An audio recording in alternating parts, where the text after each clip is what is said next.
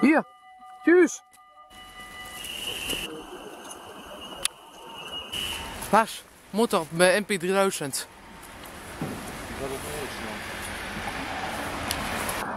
Oh.